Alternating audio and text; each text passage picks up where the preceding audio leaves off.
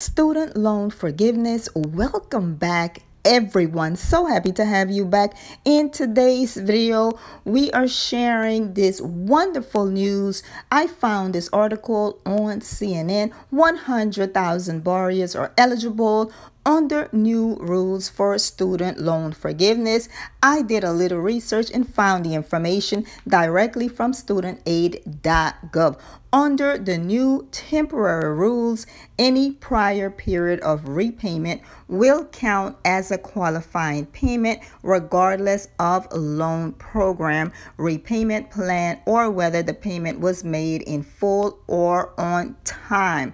This change will apply to student loan borrowers with direct loans, those who have already consolidated into the direct loan program, and those who consolidate into the direct loan program by October 31st, 2022.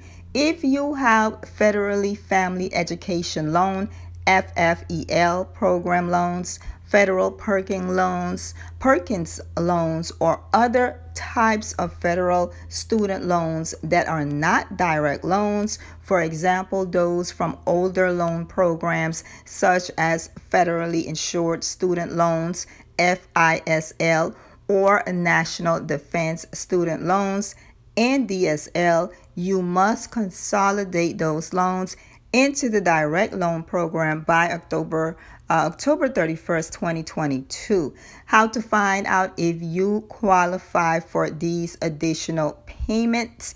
It depends on the type of loans you have outstanding. You have to log into your account. Once you log into your account, you need to scroll down to the loan breakdown section.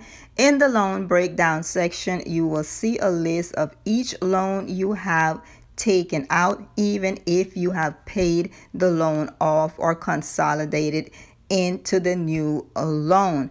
Now, periods of repayment on parent plus loans are not eligible under this new limited waiver. Here are the requirements to qualify for this program.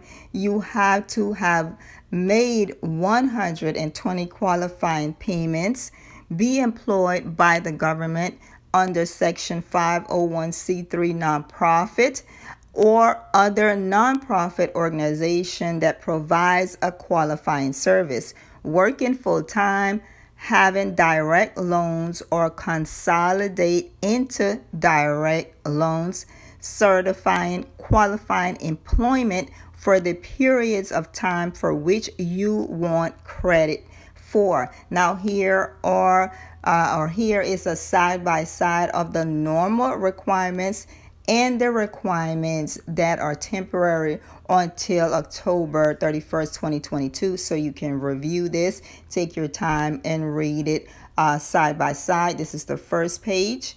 This is the second page and this is the third page. All right. Make sure to comment in the comment section and let us know if you qualify for this student loan forgiveness. If you do not qualify, make sure you're sharing this video with those who you know may qualify. All right. And don't forget to like, comment, share, and subscribe. Hit that notification bell and come back for all of the information that matters to you most. I am doing the research so you do not have to. And I will see every one of you again very, very soon. Bye bye.